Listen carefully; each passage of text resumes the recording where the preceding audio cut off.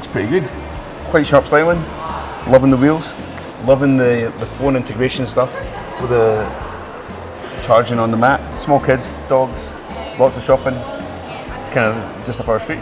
It's very comfy seats and very good space. I, I like the engine stop start button, I think that's pretty cool. Uh, the connectivity looks really good. It's got a big boot that I can easily put the pram in without taking it apart, so I like those things. Um, the cabin's pretty big as well, so for us long-legged people, we can sit with feet right back and still fit people behind us.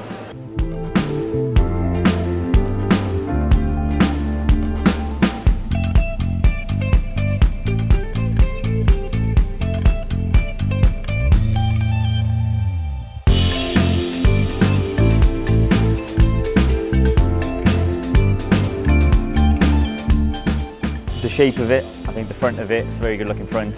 Um, the back, the alloys, beautiful looking alloys. Well, I really like the colour and the size I think is really good and inside the seats are really, really comfortable. in terms of the actual dimensions of it, so you could probably park it quite easily and manoeuvre it around quite easily as well. Yeah. But inside there's plenty of space and plenty of boot space too, so Yeah. it's, it's a good compromise. I think it's got nice, um, nice lines, nice angles, quite, quite pleasing to the eye.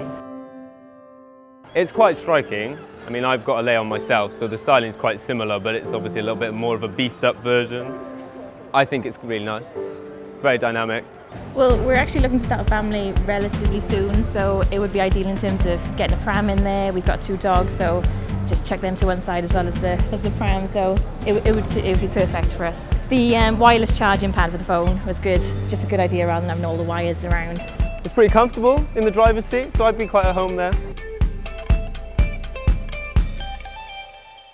Practical, sexy. Exciting, Sharp.